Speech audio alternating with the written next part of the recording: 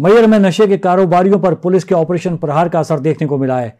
नशा सप्लाई करने वाली पूरी गैंग के नेटवर्क को ध्वस्त कर दिया गया है।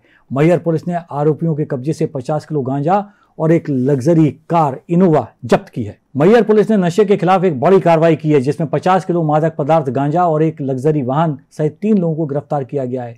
डीआईजी रीवा साकित प्रकाश पांडे ने बताया कि नशे के सौदागर और युवा पीढ़ी को बर्बाद करने वाले कारोबारियों के खिलाफ सख्त कार्रवाई करने के निर्देश सभी पुलिस अधीक्षकों को दिए गए थे, जिसके तहत मैयर के पुलिस अधीक्षक ने थाना बदेरा में अवैध मादक पदार्थ, गांजे के परिवहन पर कार्रवाई की। डीआईजी साकित पांडे ने बताया कि आरोपियों ने गांजे की खेप कहाँ से खरीदी और ये किसे देने जा रहे थे, इसकी जाँच चल रही है। खबर मिली थी कि कुछ संदिग्ध लोग वाहनों में देखे गए हैं।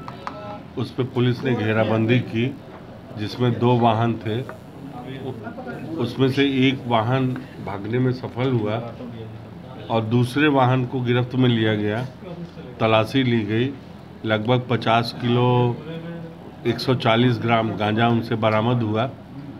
दो आरोपी मौके पे ही मिल गए थे। बाकी आरोपी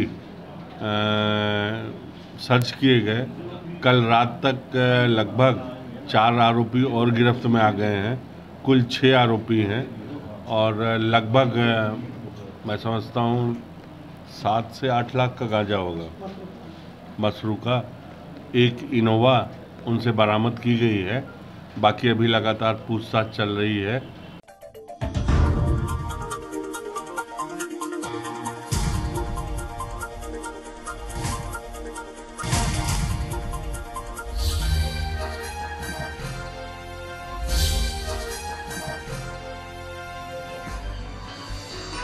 आप देख रहे हैं दखल न्यूज़।